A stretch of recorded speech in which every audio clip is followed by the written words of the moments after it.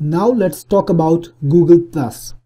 Google Plus is owned by Google just like YouTube. If you compare Google Plus to Facebook or Twitter, it's much smaller.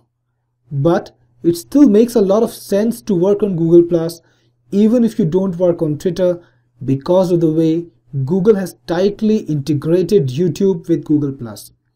In fact, I would say that Google has integrated them so well that now YouTube is actually an extension to Google Plus and I'm sure as time goes by YouTube is to be more and more integrated with Google Plus. Google is going to make this relationship even more cozier and soon there might be a time when YouTube is actually a, quite an integral part of Google Plus. That's why I think you should concentrate on Google Plus even if you're not concentrating on YouTube because of some very important recent changes.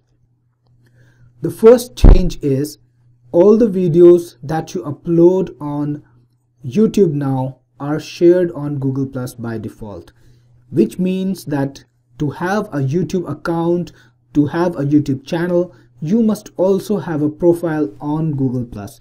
So all the YouTube channels, all the YouTube accounts have been given a, a Google Plus profile and every video that you upload on uh, YouTube now is shared on Google Plus by default which means that you're already on Google Plus whether you want it or not unless of course you unchecked that little checkbox which says share on Google Plus which I don't recommend that you ever do.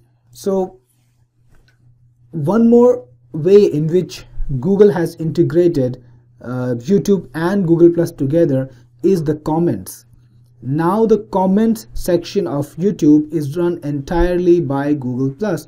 So all the comments that you that you see below a, a YouTube video are actually through Google Plus and every time somebody makes a comment on YouTube he might also share your video because YouTube will enable a checkbox or YouTube will actually show a checkbox which says share this on Google Plus.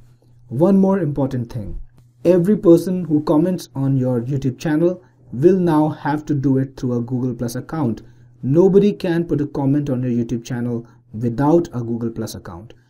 This means that Google Plus already has gained a lot of traction and that Google is using YouTube to bring content, to bring visitors to Google Plus and to make people used to the way Google Plus works, which is stopping Google Plus from being more popular now and which is making Facebook still the dominant social network, which is really a difficult thing for it to overcome. Unless it has the content, it can't compete with Facebook. So to help get the content, to help get the viewers, to help get the visitors to Google Plus, Google has tightly integrated Facebook and Google and they have given you several tools that you can use to talk to the audience on Google Plus, to tap the audience and to engage them. They're hoping that this will bring more and more people to Google Plus and as they start interacting it'll start growing and people will will share more content people will talk more often on google plus and ultimately google plus will also become a major search engine if not as big as facebook then at least comparable. So make use of this opportunity because in the year years that are coming that are coming google plus is going to really emerge and it's going to grow very rapidly all because of youtube. So make sure you're you're strongly present on google plus so that you make use of this early opportunity and you're able to grow your channel and your business on Google Plus in the coming days. Let's see how to do that. Let's begin by learning how you can quickly make a community of fans from Google Plus in YouTube. Right now we are on the YouTube dashboard over here and let's click on community and then let's click on fans.